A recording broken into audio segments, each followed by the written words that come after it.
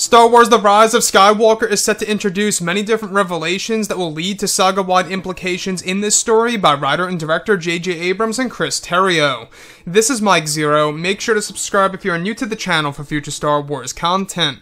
Now, what's really exciting about episode 9 is that we do know that this film is going to, of course, introduce many different twists and turns that's going to change how we view the past 8 Star Wars films, which honestly is very intriguing to see exactly how JJ is going to utilize all of this into one big epic story that will follow the adventures of Kylo, Rey, Poe, Finn, etc., and of course exactly where they're all going to end up in this film.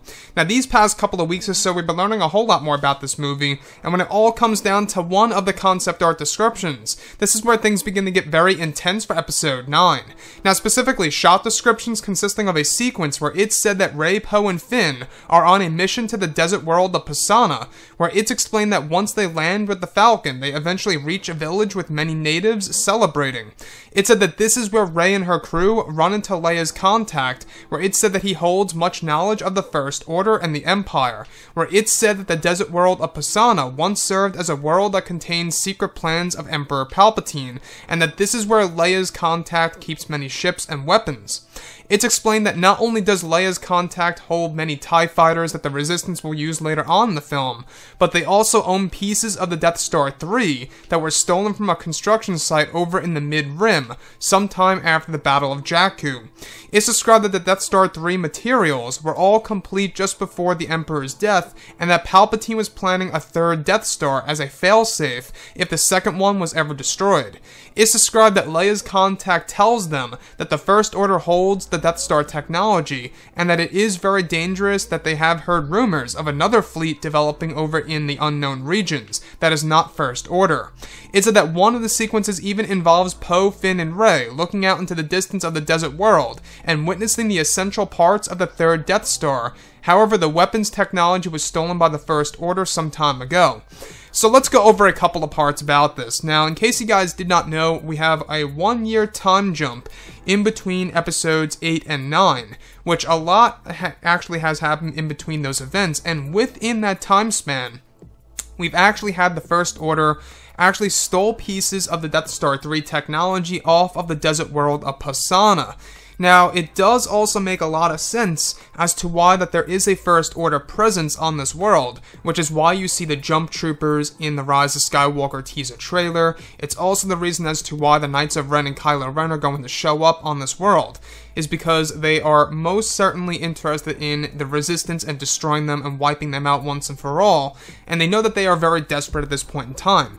So, the third Death Star technology, very intriguing. I know they touched on this very lightly in Star Wars Legends. Not a lot of people are really familiar with it, but in Legends, there was something to do with the Death Star 3, and now J.J. Abrams is throwing that into Episode 9. Keep in mind that the actual Death Star itself, the third one, is not going to be the main super weapon in Episode 9 in the form of a sphere, but it's actually going to be the weapons material that's actually going to be a part of the new super weapons in the Rise of Skywalker called the Annihilators. Now, the Annihilators are powered by Death Star 3 technology, and this desert world of Pasaana actually holds all the pieces of the third Death Star.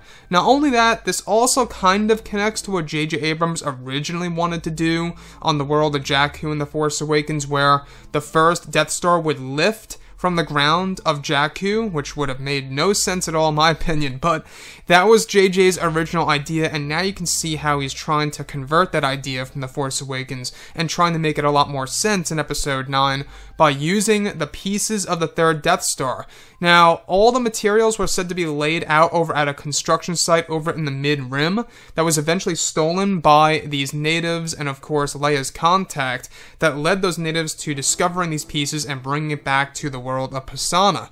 Now, Pasaana is said to be a very intriguing planet. It's said to be a mixture of Tatooine and Jakku. Honestly, in my point of view, you might as well have just brought back Jakku as the main planet at this point. But this desert world is said to be different because of its origins. It's said to be deeply connected with the Empire and the Imperial forces, and that there's going to be a heavy Imperial presence in, of course, the Rise of Skywalker on this world. And that's a great thing because the Death Star 3, you know, really is something that's so unknown in Star Wars Legends that is now, now going to be made known in The Rise of Skywalker, which is canon material. And I personally cannot wait to see you know exactly how this technology is going to be applied to both the First Order and, of course, the new Sith Empire, which, by the way, is the rumors that Leia's contact heard of of a new Sith fleet, or a new fleet, if you will, that's developing over in the unknown regions. That fleet is actually Emperor Palpatine. Now, the First Order holds that Death Star 3 technology on their new Star Destroyers, as well as Darth, you know, Sidious as well. So anyways, guys, drop a comment below. Let me know what you think about all of this in the comments. And if you guys did enjoy the content for today, do make sure to drop a thumbs up on this video to support the channel. I thank you all so very much for the kind support, and I'll catch you guys next time.